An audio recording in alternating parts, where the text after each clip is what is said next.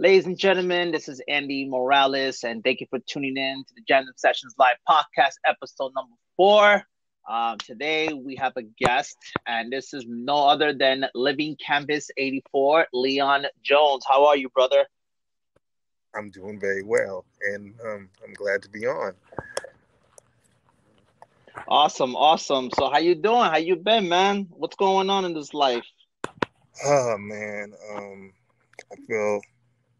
I mean, I guess I feel like I can speak for a lot of people where um, after 2020 and coming into the third month of 2021, still trying to get my head together um, mentally, spiritually, physically, just in all aspects of my being, and um, trying to make the best of this year and to the best of my ability, make it a better one than it was in 2020 when everything was so stagnant and everything was just locked down and it just felt like a emotional roller coaster for um, not just me but like so many other people like those i know and those i don't know.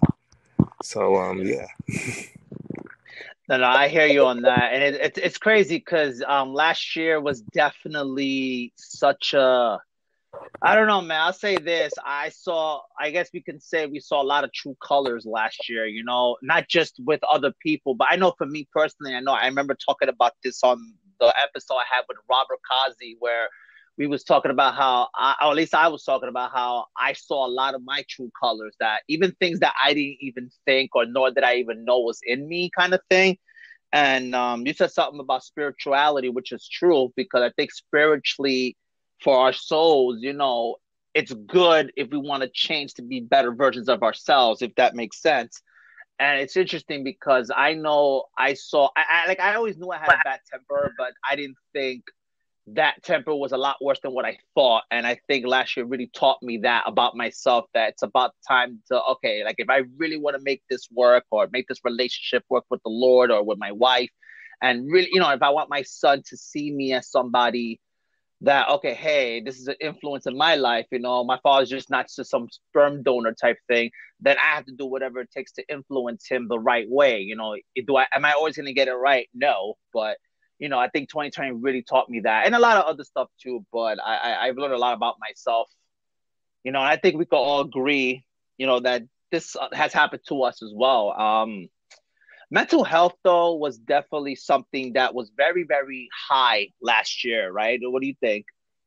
Yeah um i definitely i mean i would say with everything going on um 2020 was very traumatic and those already with underlying mental um, health issues and um, disabilities and what have you it just exasperated everything and just made everything um, much worse. And those who had addictions, whether it was alcoholism, whether it was um, addictions to medicine or just whatever the addiction was, I also feel it made it worse because it was it was a dark space. You know, it was a really dark space, and going on to spirituality for me. I also will say that really showed me myself. Um, spirituality, it really showed me that there's a whole lot of things that um, Jesus has to work out of me. And I really saw my stubbornness and my relationship with him wasn't as close as I would say, you know, it is. And, you know, I really went through a lot of faith testing last year, um, where I was just questioning a lot of things um, in, in, my life. I was questioning, you know, my spirituality. Even I went through bouts of depression. Um, even I dealt with a lot of loss, um, loss of um, loss of um, church, um, church friends um, from death, um, loss of friends, um, um, family members um, passed away, and um, even like I had a, a, roommate I was living with, and he passed away too. And I, oh yeah, then um, back in April, the job I was working at for five years, I had lost that, and so I became real complacent um, and didn't start working again until October um, of last year. And oh yeah, obviously last year. um, but yeah, so you know, with all of that, and then you know, with the fear of you know coronavirus and it being so amped up by the media and um, you always seeing or hearing about like cases and you know it was just traumatizing. It was all traumatizing. And then the whole lockdown where you couldn't really go out to where you wanted to like you couldn't really go out to the movies you couldn't go out to eat you were just scared of like it just put you it just gave you anxiety. And so getting back to work actually i I was nervous. I was like, I wanted to. A part of me wanted to go back to work. Another part of me was like, Oh no, no, I don't really. No, and I, I hear you on that because I remember when I was laid off um, back in March of last year. It's funny too. Um, in two weeks, I think it was the seventeenth, is when it was official. Okay, they officially made the the, the, the I think it was the shutdown. New York was like the 20th or the 19th of that week, which was the 17th is when I was told, okay, you need to go home. And it's funny because was it four months? I was actually home for four months. And basically, um, you said something that was very interesting. And um, I was gonna say, um, depression was definitely something that was for me personally. That was very a really back uh, a big big thing for me because I know depression for me you know, I dealt with a lot of it behind closed doors that I never really talked to my wife about until later on, once everything was calmed down, I guess, kind of thing. Because, you know, I, am not afraid to talk about this. Um, you said spiritually, yeah. I think a lot of us who walk in the things of God really had to go through a lot of faith faith testing, and that that was very interesting. You said that because I know me personally, I definitely went through a lot of faith testing, and I think this is back to what I was saying before, how I saw a lot of my true colors, mm. but the was something I struggled with a lot, you know, and I've struggled with that my entire life. Is just I've dealt with it in different levels where I'm able to handle it differently now than what I used to. Mm-hmm. But you said also about alcoholism. That was definitely a crazy thing because I did see a lot of people drunk or or just messed up kind of thing. And I remember times in my life before I came to the Lord where I was just beyond messed up. Like I would be like in a park bench somewhere, or homeless people took my money, and, and I didn't even know what happened the day before, or I, you know, I would sleep on the train because I just didn't have the willpower to get off on my stop to just, you know, take just to just to go home, kind of thing, you know. And it was just crazy how um this like this past year was definitely in so many ways. You know, speaking of this year, I wanted to ask you a question because it reminded me of it. And I know we talked we spoke about it before. I'm gonna bring it up, and I wanted to talk about your rant or your video that you talked about the Black Lives Matter. Now, before I talk about the video, I wanted to talk about what like when this whole thing was happening with the George Floyd thing, and then it's, it, it, I guess you could say this was the re, I don't know if it's a re introduction of Black Lives Matter because it seemed like that was always there for a while, but they weren't as loud until George Floyd passed away because of what happened to him. So my question to you is, what was your mind at when you saw that? Like, well, well how did that? Like, I mean, obviously it hurt you, but how did it hurt you in that way? Well, um, I mean, I would say the start of 2020, um, there was, I think, first you heard the case of Ahmaud Arbery, um, you know, going the whole case, the whole thing about him going for a jog and then getting shot down, and then you heard the case of Breonna Taylor, um, happen. It's like, oh God, not again. And then there was a few other cases. Um, and so there was already, and I was already like, uh, I don't want to say the word triggered, you know. Uh, no, but I. It, it's such a cliche thing to say. He was like, I was triggered. Um, but yeah, uh, it definitely was something that happened, and um, then I would say there was other cases that happened, but you know they weren't as big. You just heard about them, and then I was saying that I was already writing poetry um, pertaining to that. I believe, yeah, one of my poems I'd written, and this was, I think, after Ahmaud Arbery passed.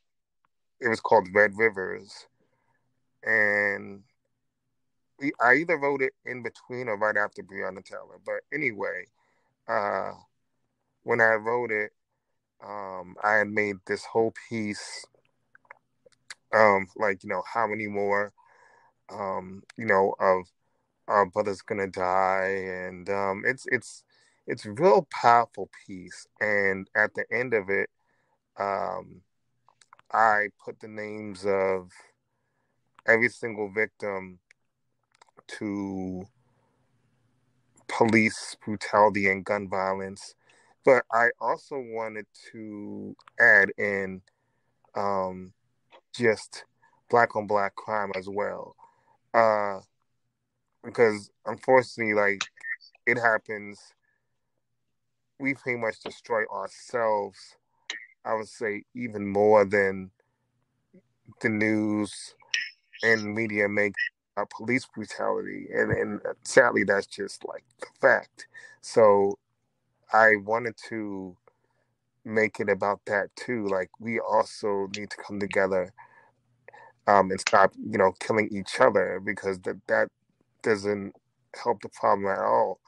And when George Floyd happened, oh man, that just sent me over the edge. And I remember hearing about it, but then when you actually see the footage and you actually sit there and watch it, I was done. I was like, I this is too much. And oh, I was going to say, and then um, I had written my poem, which is one of my favorite poems, um, called "Do You See Me." Do you want to? I was gonna say, if you want, you could read it. You could read those poems if you want. Uh, yeah, actually, yes, I would like to um, do that. Actually, all right. So the first one, because I do want to read it chronologically. Red Rivers. Okay.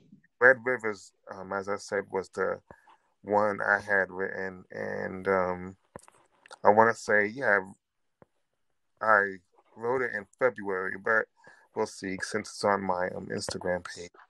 So here it is. Is Black Lives Matter merely a nice hashtag to put on a sign or social media platter? To have some sentiment to raise awareness that will bring knowledge and capture a movement, a moment, yet careless killings will happen on the ladder. See, we can become mad as hell, hold up inspirational banners, with the sad truth in knowing these cases will carry ongoing chapters. Almost makes you numb to know these similar scenarios will happen after. After these words are pinned down, spoken about, and given their commentary chatter. Bam! Another brother or sister whose blood has been splattered. I guess more p- police racially profiled the bad drug dealing strapper who was unarmed, shot, and killed it's just another statistical factor. Another brother or sister, they said they had a hammer. More families shattered. But oh well, what matters? We're three fourths of a human in some eyes. They need to go back to Africa, be in jail, or obey our modern day masters. And we better not act intelligent just because we received the masters. and to some still looked at as slaves, ignorant, walking cadavers. So do we scream in rage, act out, and be savage, or break down with shrugged shoulders and crazy laughter? We tried any means in nonviolence, both met their assassins. As the statistics run, they increase with more divide and disaster. As more pass, some run to hear God's word from the pastor. Vengeance is mine, says the Lord. Forgive me, Jesus. But some wish judgment would just come faster. So as I pen these lyrics, anguish builds in my spirit. I don't mean to be negative, it's just what the truth is. How for killing black skin can be suspicious and it's judicious. If we get killed like it's just proper business. But you see, sadly, some only see us as killers, thieves, and drug dealers, and uncivil. So you see, it's civil to cut us down like scissors. And what's worse, we kill our own culture, then pour out distillers. So is there really a resolution? Or will we all just keep crying these red rivers? Wow. Wow. Wow, man. That wow. And this was the first poem that you said that was between um the one wait, what was the name of the other person? And then you said before um Breonna Taylor, there was another person you said, yeah, right? this was um during the time of Ahmaud Arbery because I wrote this February twelfth, twenty twenty, and I know okay that time is when I believe I saw the news about Ahmaud Arbery being shot down, and then I believe, if I'm not mistaken, uh, it was Breonna Taylor who happened next, and then there was, of course, George Floyd. But the other wait, so I, am wait, so George Floyd happened before Breonna Taylor? I thought I, I mean George I thought Floyd I'm sorry, happened, it happened at yeah, George Floyd happened after Breonna Taylor. Oh, why did I think it was before? Okay, I just learned something. I thought it was before um no, yeah, Breonna because, Taylor and then it was her. Yeah, Breonna Taylor happened um before George Floyd. And after Breonna Taylor died, then it was George Floyd. It's it's interesting though because it's like it, it hurts me because I mean, look, I'm I'm Puerto Rican, born in New York, but technically, a lot of people don't. I don't know if people want to admit this, but technically, Puerto Ricans are black. Even though I'm not a black skinned person, but I'm still part black due to my, you know, my background. And you know, people don't want to talk about that's. I'm sorry, people don't want to talk about that, but it's just you know, I guess there's between let's say someone like you and someone like me is I'm afraid I'm gonna get stopped and get a ticket for something really stupid because I'm just a minority type thing you know, let's say someone like you, you know, hate to say it like that. It's like you're afraid that you're gonna get stopped by the police and you're gonna get murdered, and it just sucks because it's like, damn, like no person of any race, any color, or any foundation should have to go through something like that, and it just kills me because even in the '80s, let's be honest, you know, it was just as bad, but it, it seems a lot worse now because you know there's technology and it's more exposed but what what gets me is you mean to tell me people from past generations still have not learned from their past. And it's like we're still doing this to each other, you know? And it's like and it seems like it's more I mean, I'm not saying that um how do I say this without sounding weird? Um, you know, like obviously Hispanics go through the stuff too, and Asians go through the stuff too, but it just seems like your people seems to get it the worst of the worst, and it's just I just don't understand why that is. Like, it just kills me, you know. It's like these are, and, and, and, you know, let's say if I I didn't know who George Floyd was, and you didn't know who he was, but you, you know, we you had that relation, like, oh my god, like that quote unquote could have been me, right. but then it's like that could have been my friend, that could have been a relative. That could have been someone that I considered a brother. And who wants to see that? And like his own parents, you know, his mom seeing that on the well, news, mother, like that killed. I was gonna say the story about his mother. His mother actually was, if I, if I um remember correctly, she actually was um she actually was dead um but he was still crying out for her saying mama if i'm correct Okay, I mean, because I, I I still don't understand that whole situation. I'll be honest with you, but it's just people closest to him, and it's like the cop just it, it just it just kills me. You know what I'm saying? It, it, just sometimes makes me angry because God, you know quote unquote that that could have been one of us and it just kills me you know like no one has shouldn't have to go through you know basically go down like that right. and now that leads me to my next question and it's about uh, a video that you did um, about the black lives matter and i know you did i don't know if it was a, i think i believe it was a rant yes. that talked about that but i wanted to ask you not just what inspired that but what did something happen that made you do that video or was it just something that you just felt like you know i i just have this has to be said yeah or this you off. Like did something set you off to do that and this is why you thought in your heart to do that? Like that like what tell, tell me the story behind that video. Yeah it was something that happened spontaneously really. Um i just had so much emotion in me.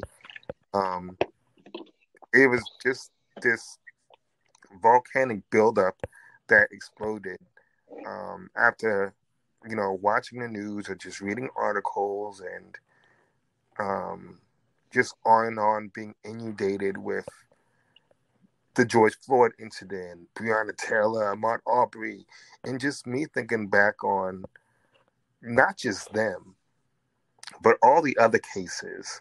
Um, and then I believe that yeah, I just watched the documentary um, on another woman. I'm trying to remember what her name name was, but she was found hung in a jail and they said she committed suicide. And the story about it was very strange because she had just moved into the town and was getting a new job and promotion and she was very she was definitely an advocate and a lot of people who knew her said like this is not something she would do. So it was um, Sandra Bland. Now I remember Sandra Bland was her name, and it was very weird that that would happen. And I just watched a documentary on it. So just watching that, and then I started watching a documentary on Black Wall Street, which I already knew about 10 years prior, like 2009, 2010. And it was me just watching all of that and everything that was going on. And then it just exploded. And yeah, there are a lot of negative things that can be said about the Black Lives Matter movement that I do not agree with. So, in saying that, I agree with the message but not all of the politics behind it. Um, yeah. Ah, okay. And that leads up to the other poem I had written. Um, and I wrote, wrote this June 5th, and it's called Do You See Me? All right. Do you see me? Beyond my skin? Beyond the indoctrinated mind control that society has you conditioned? Do you see me? Holding out my hands, hoping you listen, because maybe this side of them you won't see as so suspicious. Do you see me?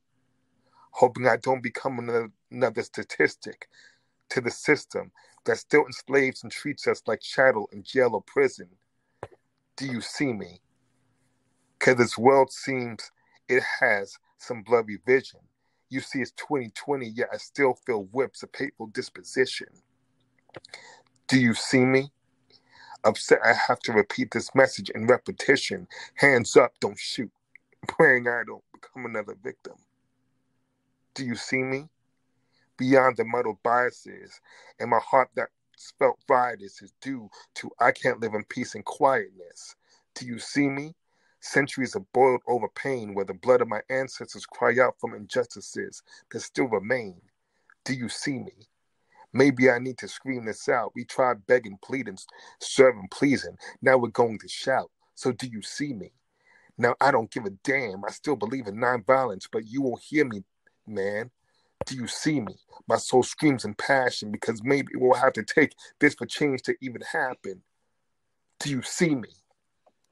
Matter of fact, do you even see you? Look at the problem that we're in. Change can only start with you. Do you see me?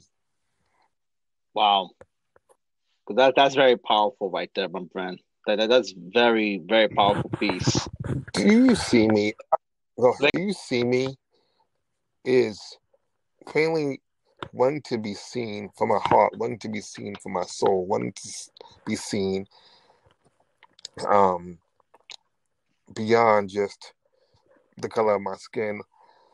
And I know that's of course the culture we live in and how we've been portrayed through media media and all these different stereotypes in a way that society has all these different you know this is like this this is like this this is like this. It you know it cubicles everybody and compartmentalizes everybody into certain sections and sex and other things I think are nonsense. So do you see me as basically like, yo, can we just see each other as just, you know, souls, hearts, just people and stop this like race war and this race baiting and do you see me actually is based on you know true events that happened. Um, I remember my first job. I worked at Taco Bell. I was only there. I wasn't that long out, but there was this customer who had came in, and he was standing in line, and the way he was looking at me was very like I get he he just looked like I don't know whether he was having a bad day or maybe it was because um you know he was racist. I don't know. Either way, I just felt uneasy and so my line was you know my line he easily could have came into my line because my line was open and so he had waited till somebody else had came to the register and you know, I got offended and everything. And then inside my mind, I said, Oh, don't worry, sir. This side's white, you know, wanting to flip my hands. I didn't say that out loud, you know, I, but, you know, wanting to just show him like uh, my white palms. black hands. wow. But I didn't, I didn't, didn't um, say that out loud though. I wanted to though, but I didn't. And then um, there were just other times where uh, I was in situations where I did get stopped by um, the cops, and I saw the hypocrisy where they would they questioned me and like my other like friend who was black, but then they let you know like my white friend go, and yes, there's good cops and there's bad cops because I had I've had plenty of good cops in my life who looked after me, who who looked out for me, who made sure that you know, as a kid and even when I got older, that like everything was cool. So I'm not one of those oh hate all cops, all cops are bad, oh you know, and but I'm also not a fool at the same time. So right. I can see both sides of the coin. I know there's some people only want to see it's either like either or, and it's not always like that. You know, it is not always that black and white per se. It really isn't. No, and I it's interesting you said that because I was gonna ask you something else, um, and but then something else came to mind. It's interesting because um now if I can bring it into a, a godly aspect of this, and I know you'll definitely understand this when I say this, like how much of that we see in the things of God, right? Because God is not black and white, He's just absolute, right? But people within the church who, you know, and I, I could say from one man of God to another that um how many times have we seen that in the church where this it, even though we're supposed to be on one one mind one accord but how many times have we seen that in the church where you know it's really more division than it is? And i feel like the reason why it hurts more is because it's like you know you know when we come to the things of god our heart's a little more sensitive and it, and it hurts more and it bothers us more but why why do you believe that happens in church do you think what the black community go through, right? Now, if I bring it into the church aspect, why do you think that is in that aspect as well? I feel because you know our minds are still being transformed. You know, one of my favorite scriptures I like is in Romans chapter 12, verse 2, where um, it says, Be not conformed, be no longer conformed to this world, but be transformed by the renewing of your mind. And, you know, even though we're supposed to not be of this world, um, be in this world but not of the world, our minds are still being renewed, our spirits are still being transformed and sanctified, you know, and so a lot of those things that we're supposed to leave out in the world, uh, unfortunately, we drag into the church with us. And you know, just like the word church, the word church, uh, I believe the Greek word was ecclesia, which means called out ones, and so be called okay. out of that type of mindset, that type of space, and just be new creations, you know, be new people. But unfortunately, uh, a lot of us are still being led by um, the things of the world and the things of our flesh. And because of that, we can still get caught up in those old divisions and those old schisms and what have you. Like, even though in the scriptures itself, it says, you know, there is no Jew, no Greek, there is no slave or free, there is no male or female, but we are all one in the body of Christ, and Christ being the head. Like, we are all supposed to be one. We're all supposed to be one, united together, knit together in Him. But, you know, because once again, we're still in the flesh, we still have our pride, we're still leaning on our own understanding. This is why we have division still. This is why there's so many different denominations, where even in the scriptures, there was, you know, the fight about who to follow. I believe um, it was Paul who had said, you know, some say they follow um, Peter, some say they follow Paul, some say they follow um, Apollos, some say they follow Christ. And that's what we're doing with all these different denominations. We we're like, oh well, go to the Baptist church. Oh well, I go to uh, the Pentecostal church. Oh, well, I go to Seventh day Adventist church. Oh, well, I go to the Sacred Name church, or I go to the Catholic, the Mormon church. Oh, well, I'm Jehovah's Witness, etc., etc. Mm-hmm. You know, we can we can go all down the line, and it is just it's it's really sad. Like after two thousand years um, of the Bible and we're still in there. But at the same time, this was all prophesied. This was all prophesied to happen. So when these divisions happen, when all of this violence happens, with everything going on in the world right now, all that is doing is just proving prophecy that the Bible already said was going to happen. So at the same time, even though it's shocking, um, if you are a Christian, it shouldn't be surprising because it's already said. But I think it's still surprising because you're like, wow, I can't believe people, you know, it still blows your mind still, even knowing the fact.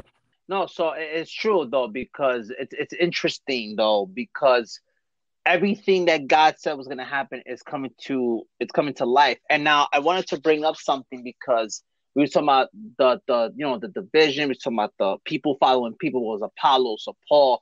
Yeah. So it's interesting you say what you said because as you're saying this, I was thinking about the recent events that's been going on that a lot because you're talking about how um you know oh I follow this I follow that I follow Paul I follow Apollos I follow such and such right But how many people now we can say, like in the thing in the body of Christ, are following man and not fully following God?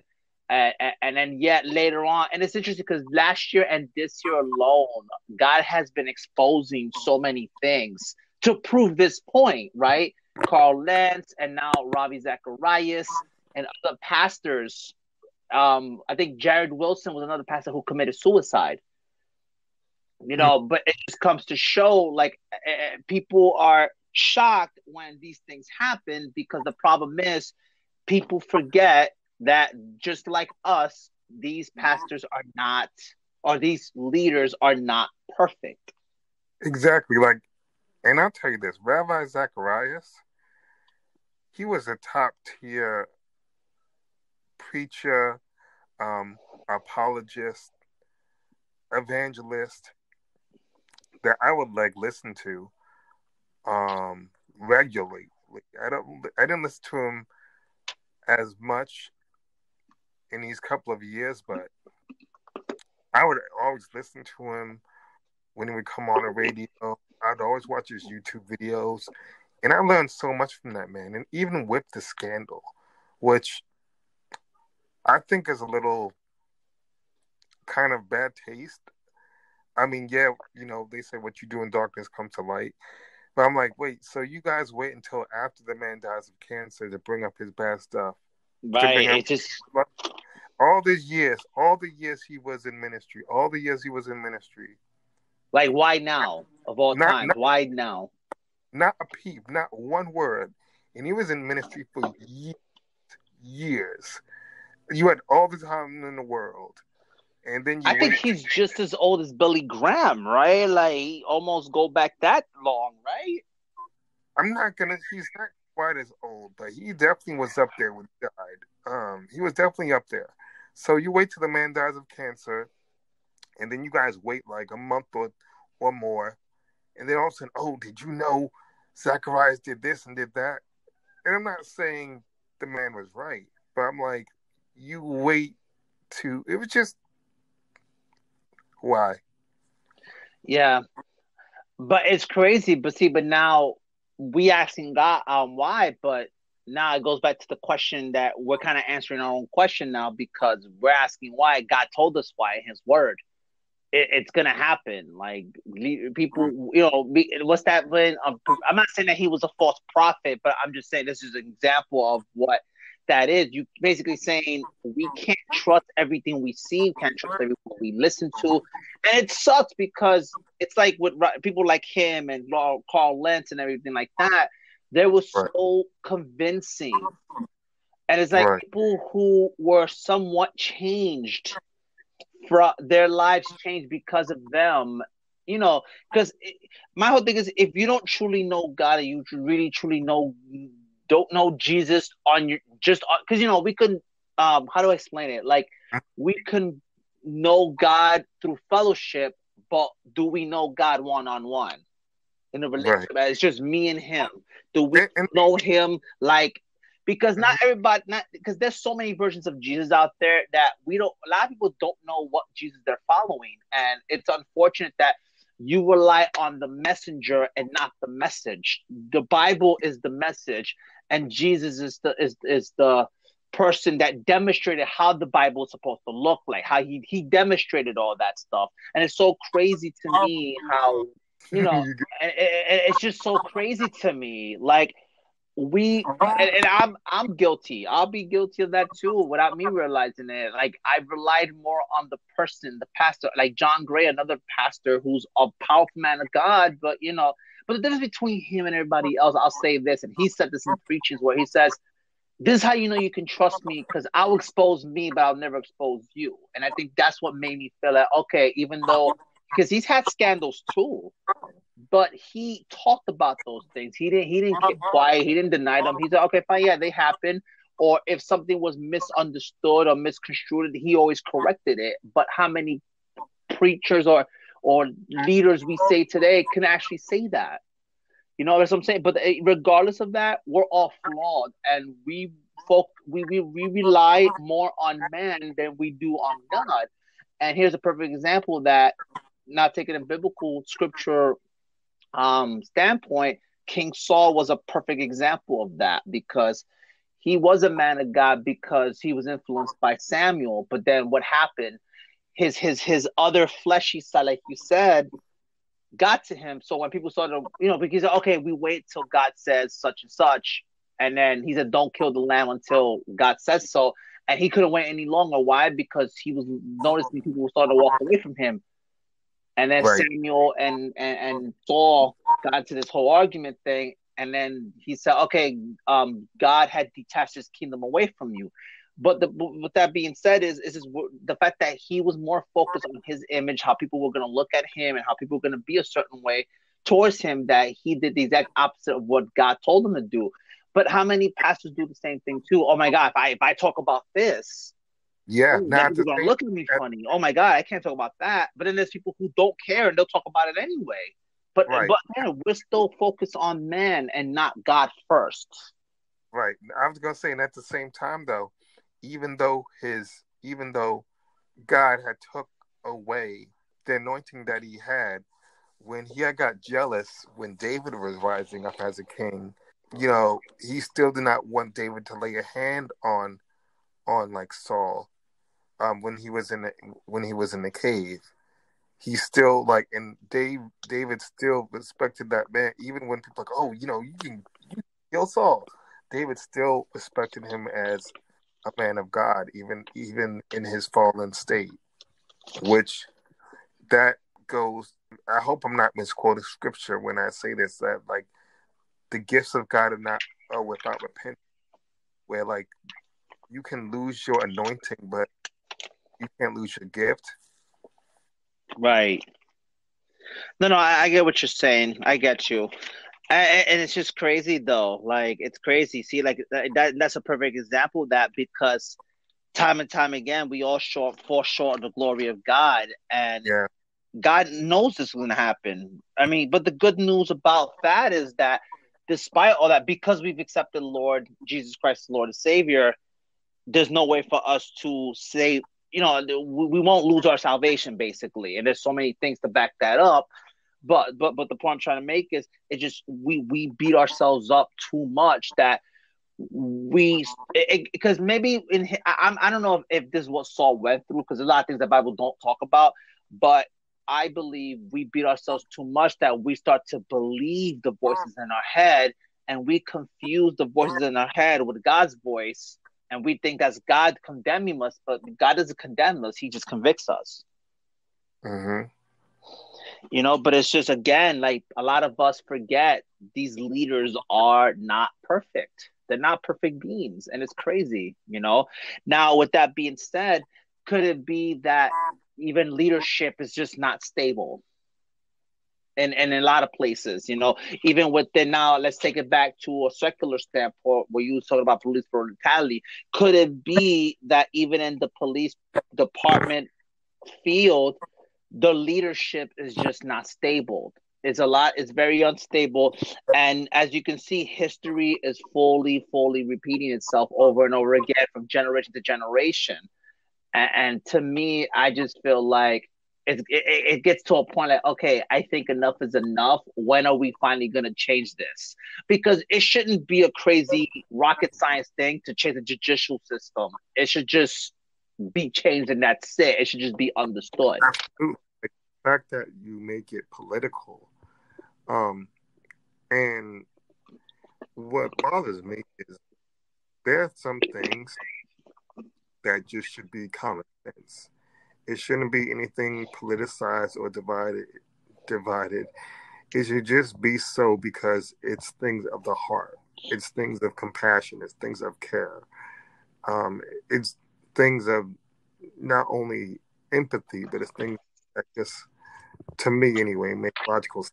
But they're just certain things that like people fight and divide over, and I'm like, really, really and this is why I don't really like getting into politics because it's games. It's just all I see is just these mental games, and it's very it's very taxing, very taxing, and so many people um, jump into it and they'll basically lose like themselves in it. And lose family members, lose friends, relationships. And it's no, no, I hear you. No, it, it, you're spot on. You're spot on, brother. And um, it's so true. It's so true. You know, and I know for me personally, it hurts because I never, you know, I wouldn't even wish that on my worst enemy. You know, the craziness mm-hmm. that a lot of, of us are going through. So I wanted to ask you, um, do you want to share another piece with us? Absolutely. Um, politics and there's well, well, there's definitely a bunch of pieces I've um, written about how I feel about it. okay. Um, it's all, just deciding which one I um, to pick actually, because there's there's plenty of them I've I've written about. Oh yeah, disenfranchised. Here's one. I'm so disenfranchised with the system and the lies, existing in a climate where cynicism thrives.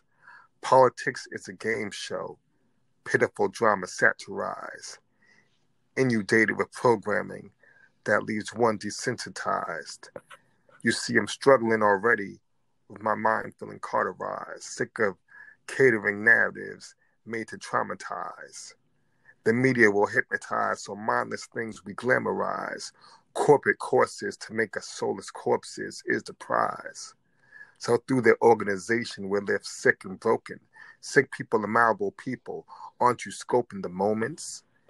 Yet still some foolish doting, foolishly doting until we're frozen, like we can't live without the org, eroding our brain organ. We've all become donors through social media probing, decoding, loss of tender care and human condolence. and some wonder why so many have turned hopeless. Hollywood is a cannibal, deep state cabal are all locusts, blind eyes while kids are trafficked and die, yet no one notice. The world is sick, truly devoted to their psychosis. and get off to entertain your demonic masters with some good quota. But who cares about what I have to say? You see, I'm just another poet, using my art to expose it. Screaming in a padded room, sounding crazy so no one will even notice. but maybe I am crazy, spouting foolishness, and they've won. So am I making any sense? Am I making any sense? Am I making any sense? As I start to turn numb. Wow. Wow. Now, what that piece in particular is was there anything in particular that inspired that piece to talk about that topic or it was just something that came to your mind? It was both. Um, okay. It was just I was sick of the just sick of the hypocrisy and sick of just the political banter just going on in, in the world that always has gone on in the world you know, since the times of Rome, since the times of Babylon, since the times of Egypt, and the time of every other single culture that's pretty much existed. And, you know, it, it just, it's annoying to me. It, it, really is. And I know some people reading, reading that or hearing that, like, oh man, no, this guy just sounds like some big conspiracy theorist. Oh, ha, ha, ha, ha. You know, and it's like, no, a lot of stuff I'm saying, you know, it is happening. You know, um, you know, I'm not one of those. The Earth is flat and everything. I'm not definitely. I'm not one of those. I'm not one of those people. Right. And forgive me.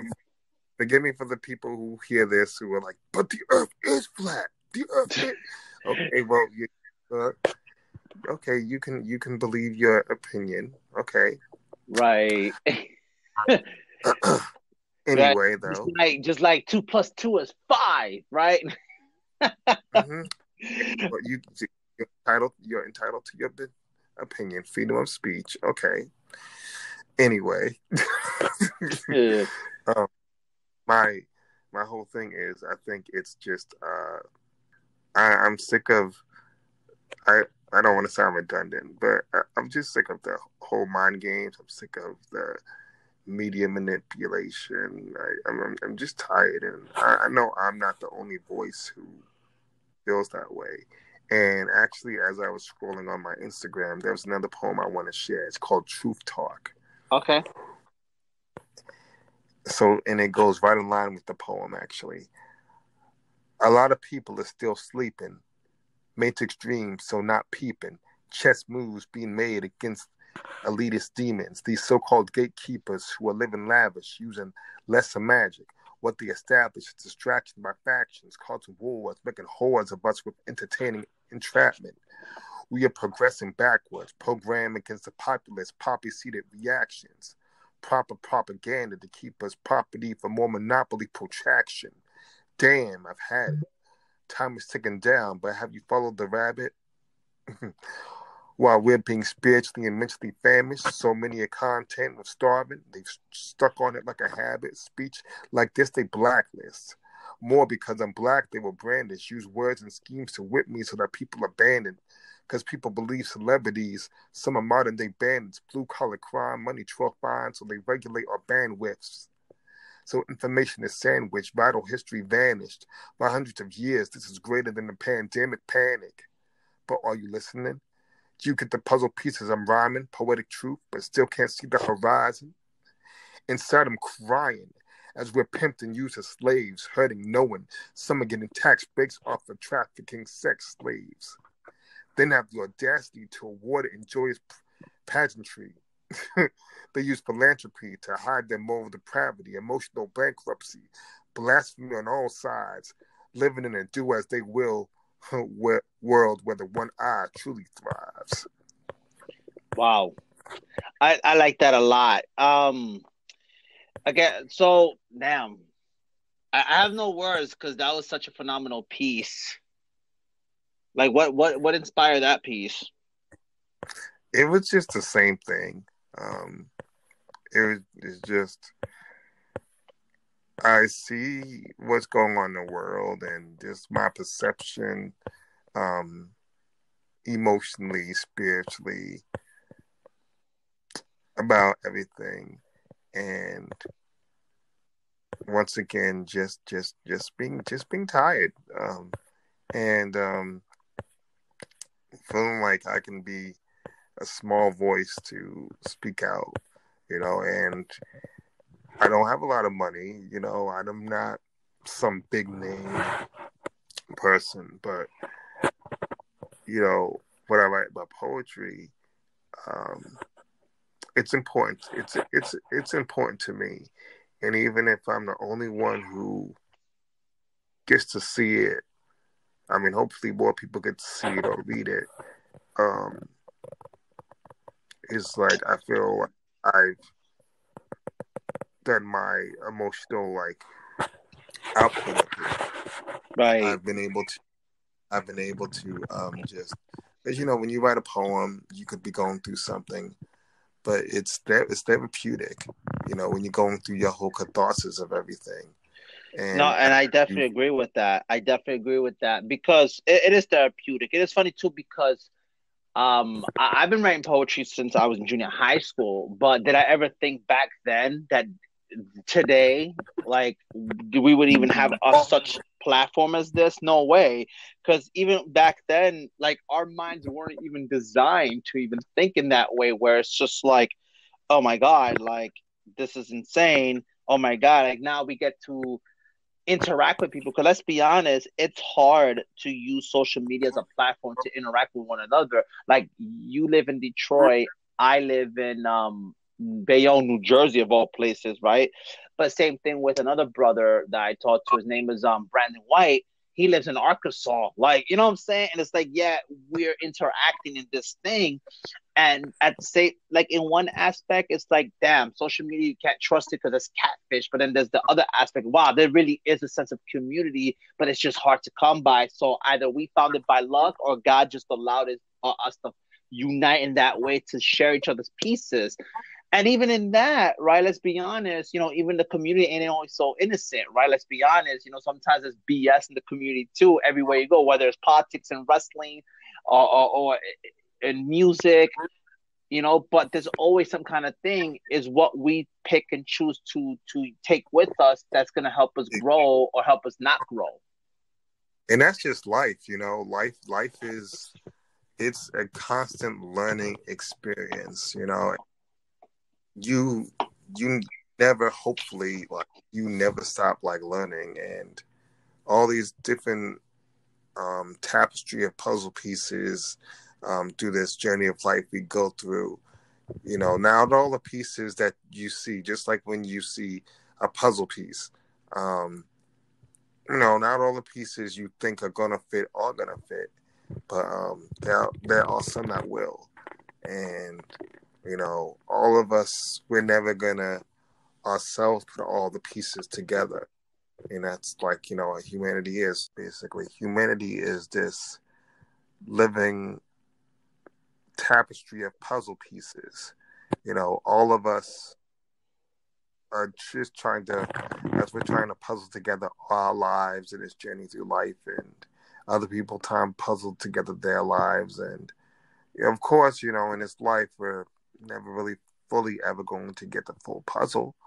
Um, there's just there's just too much, and you know, but at the same time, we, we, we try our best, and some pieces will fit, and some some won't. But you know, we still try.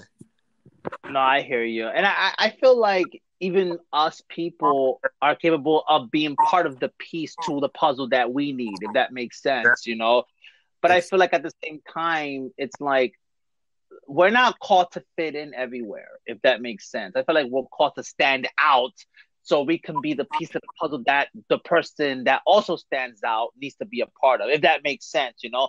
If we're that piece of the puzzle that stands out then there's something unique about that each piece you know? Because every piece of a puzzle or every structure of life has its own uniqueness to it. We just have to find what's unique about this piece or this thing or this foundation if that makes sense. No absolutely no it, it absolutely does. And it's funny because um the book I'm going be in. The new book I'm going to be in is called "We Hide Our Colors Within Gray," um, and it's by it's an anthology poetry book by um, this group called Ink Gladiators, and it'll be the third time, yeah, third time I believe that I've been published in their work. The first time was capsized, and the poem I submitted with them is called Shattered Vision, and I would actually like to read that. Um, okay.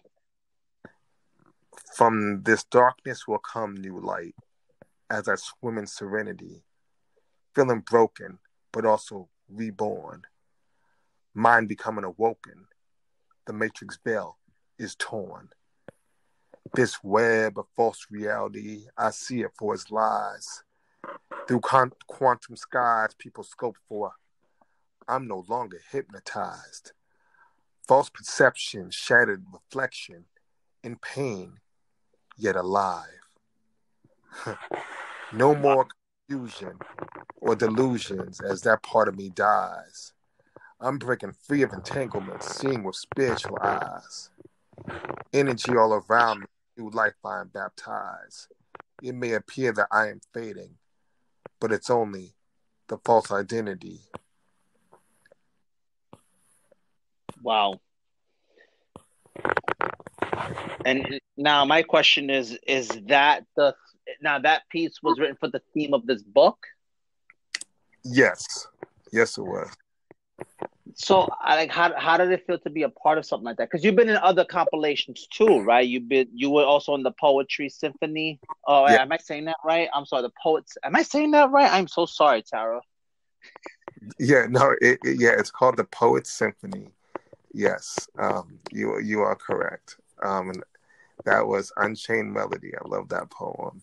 Um, yeah, yeah, no, absolutely. Yeah, I was in the Poet Symphony.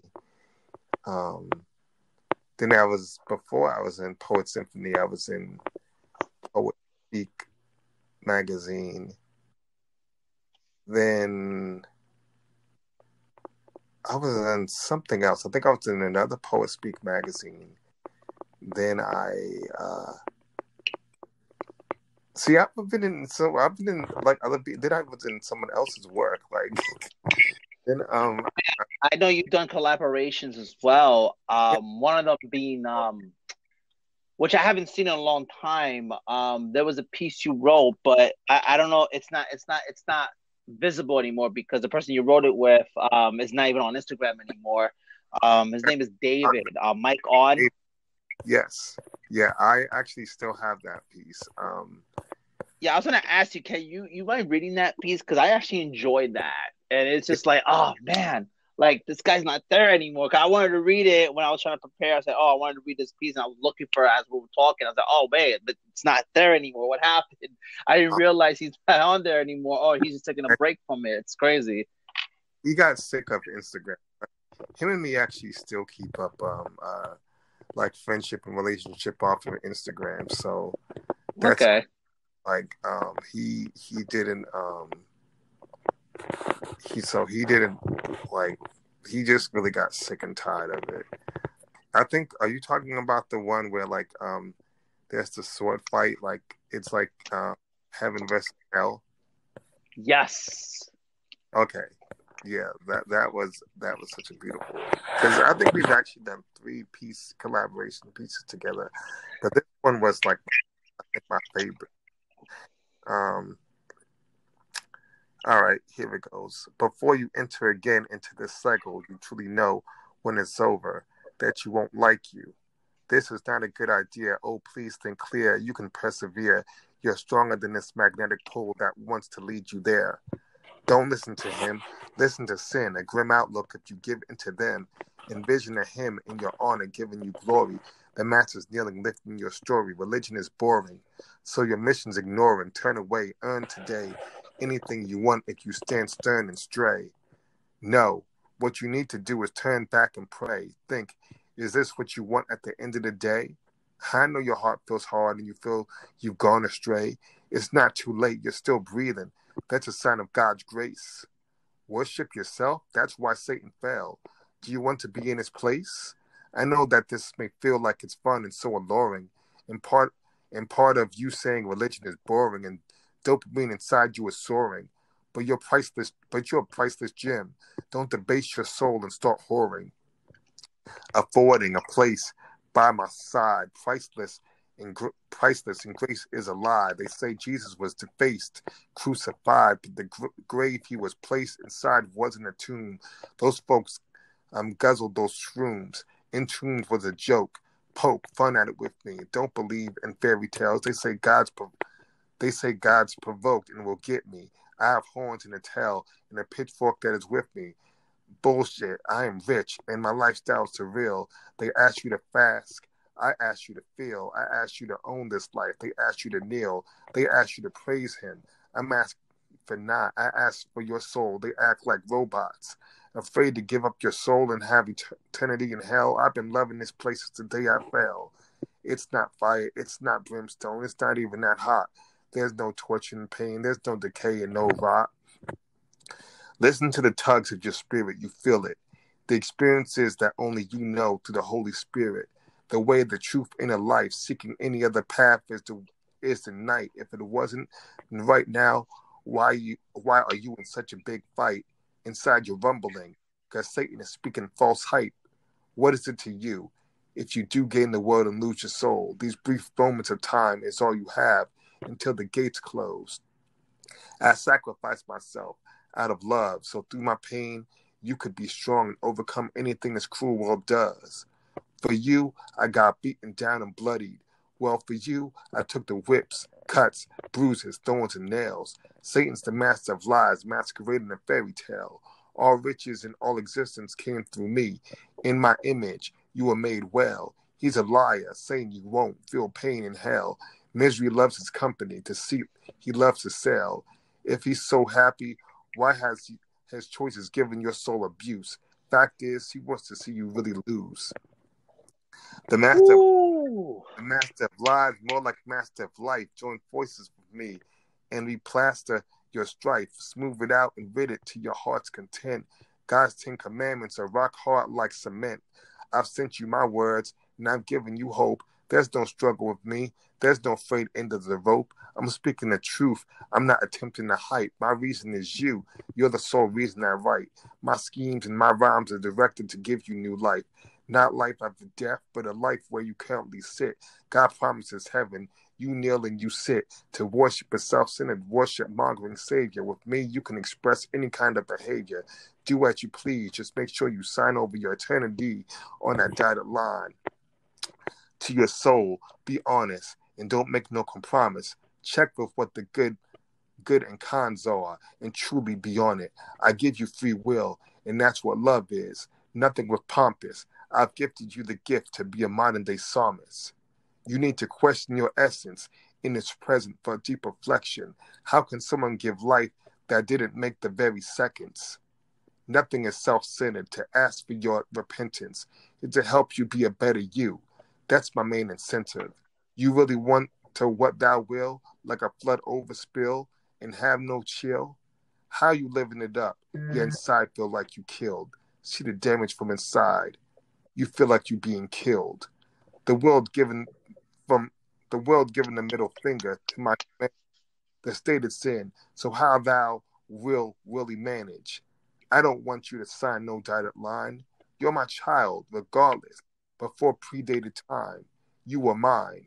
I just want the best for you and see you eternally shine, not just for this breath of life, but here on after. Be a novel of glory, not an unfinished chapter. You made a mistake. You wretched human, you're weak. There's no reason for me to stay here, no reason to speak to you anymore. So I turn my attention to God. You do good. You omni here and omni abroad. You've taken my chance and you've ruined it again. You've meddled in my affairs of getting humans to sin. This isn't over. No, I will not meet defeat. You say the story is written, but it's my turn to reap. Get off these streets. Stop saying your creation. Sooner than later, you need to take a vacation. This world is supposed to be mine until your son returns. Anger explodes in my rhymes as another failure occurs. I've heard you speak to your beings through a spirit that's holy. Just know in the end, Lord, you won't be able to hold me. I'm folding this time. My hand isn't strong. This isn't over. Next time, I'll bring my own gone. So long. Wow. Whoo! Preach, brother. Preach. Yo, brother, that was phenomenal. That's such an awesome, amazing, amazing piece, man. Wow. Wow, man. And, and I felt it. It's like it was like I took it as like the wrestling with God scenario. Like you're like, Lord, what's going on? But God said, No, my grace is sufficient. Look, I'm here. I'm fighting for you. We love you. I love you, and I know you love me. But you have to keep pressing harder, kind of thing. And it's just, so, oh, it's such a beautiful piece, man, friend.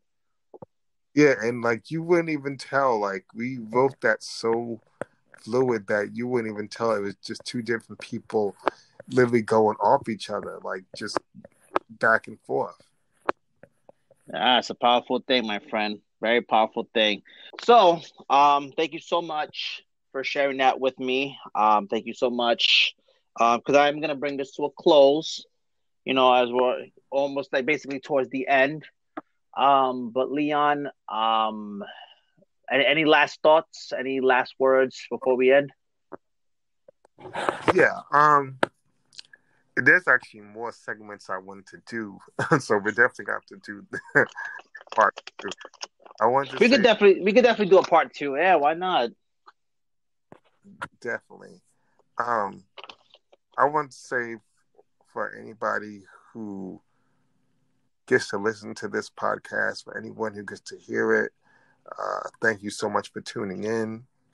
Thank you so much for taking your time to listen to the two of us. And I hope that in hearing us, there was something that you learned that made you increase in your own understanding of whatever topic we spoke about that also brought you encouragement that also inspired you and to make you feel that you are not alone in this world with, with whatever thoughts you may be feeling inside.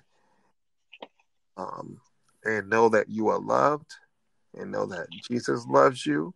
And even though I may not see your face, wherever you may be in the side of the world, and whatever time or day it may be, or even in the year beyond this, that um, you are loved and know that Jesus loves you. And um, whatever dreams you have, um, as long as they are positive and that they can bring light, and encouragement to people's lives, continue on to that gift because it was given to you in your heart, it was given to you in your mind, regardless of the pitfalls that happen, regardless of the setbacks that happen.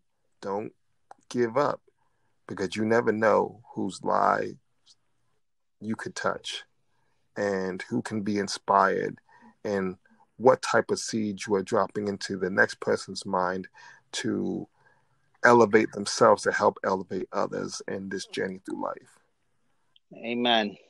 Amen, brother. And I, I definitely agree with that. So, um, Leon, thank you so much for joining this. Um, because there's so many things we I believe we still have to talk about. I don't mind doing a part two soon. Um, we'll talk privately about that, how to set that one up. But um, brother, God bless you. Thank you so much for sharing your pieces, for sharing your thoughts on so many real issues out there. Um, I feel like there's definitely a conversation that we definitely have to continue having. You know, on a part two, definitely see that. I don't see why not. You know what I'm saying? So um, we'll talk soon about that. Um, everyone that's listening, thank you so much for joining. Thank you so much for listening and giving this podcast. And I just want to say thank you so much for everyone that's supporting me. That's really, you know, even though it's a slow process and I'm okay with that, it's just, you know, I'm still getting used to this whole podcasting stage of my life. Um, thank you, thank you, thank you so much, everybody. Thank you so much, brother. And um, we're gonna just end this episode here. Uh, we're joining for episode five and yeah, uh, see where it goes. So God bless you, everyone. God bless you, brother. God bless you too.